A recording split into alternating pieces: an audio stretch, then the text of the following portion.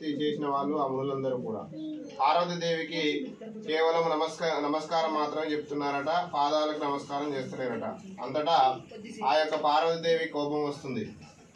కోపం వచ్చి స్వామి కేవలం ఈ మునులందరూ కూడా యోగులందరూ కూడా మీకు మాత్రమే నమస్కారం చేసడానికి తగిన కారణం ఏమిటని అడగగా పరమేశ్వరుడు చెప్తాడు దేవి యోగులకు మునులకు తపస్సు శక్తి గల వారికి కేవలం నా అనుగ్రహం మాత్రమే కావాలి దేవి.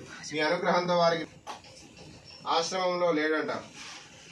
కొద్దిసేపటికి పార్వతి అక్కడ ఉన్నటువంటి సమయంలో ఆ యొక్క గౌతమ మహాముని తిరిగి వచ్చేసరికి పార్వతి ప్రత్యక్షమైనాడట.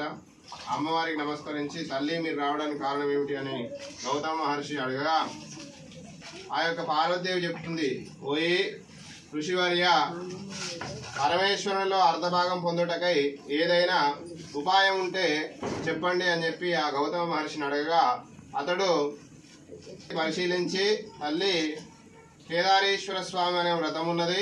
ఆ వ్రతము ఏ సంకల్పం అయితే చేసుకుని వ్రతం చేస్తారో అటు సంకల్పాన్ని పరమేశ్వరుడు సిద్ధిస్తాడు ప్రాప్తిస్తాడు అని చెప్పి ఆ పార్వతీదేవికి గౌతమ మహర్షి చెప్పినారట.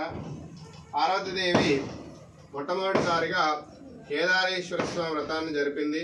ఆ వ్రతం ఏ విధంగా జరిగిందంటే ఆ గౌతమ మహర్షి ఆశ్రమంలోనే ఇరవై ఒక్క రోజుల పాటు కూడా ఆ పార్వతీదేవి వ్రతం చేస్తుందట. వ్రతం ఏ విధంగా చేస్తుంది? ఇరవై ఒక్క రకమైనటువంటి మర్రి ఊడలను తీసుకువచ్చి ఇరవై ఒక్క మంది బ్రాహ్మణులను పిలిపించి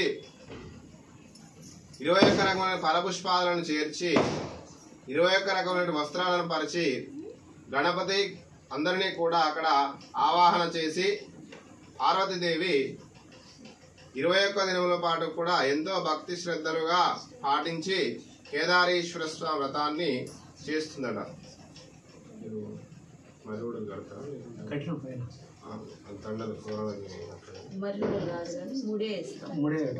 దండలకు